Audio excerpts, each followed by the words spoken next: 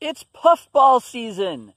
I think we should go look and see if we can't find any giant puffball mushrooms.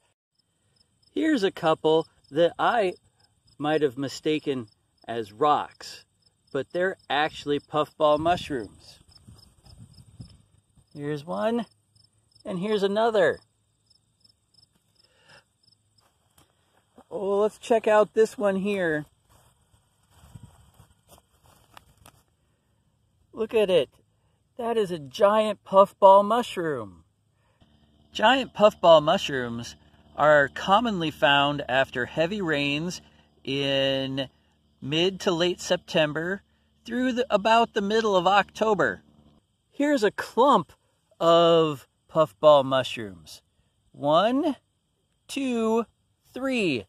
And yeah, there's a little one down in here too. Not sure if you can see it. So that makes four. This one here has already been knocked out of the ground. Look at that.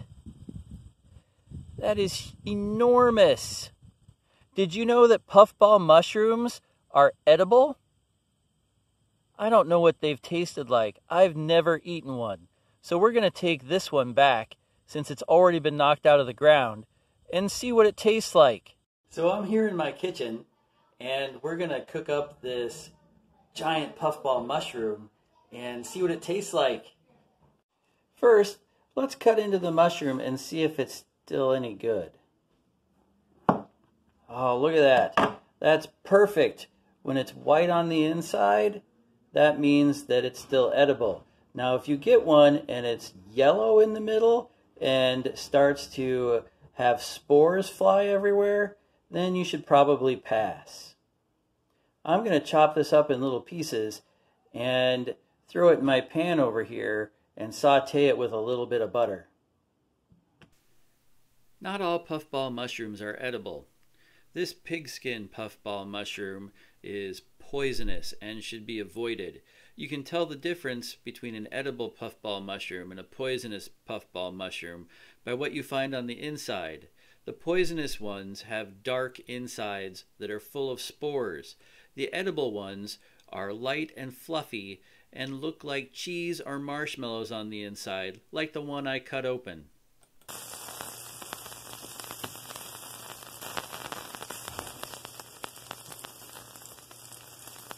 So let's try our puffball mushrooms. What I did is I sauteed it in butter and a little bit of salt. And I cut them in really nice big steak-like chunks. So let's see how they taste.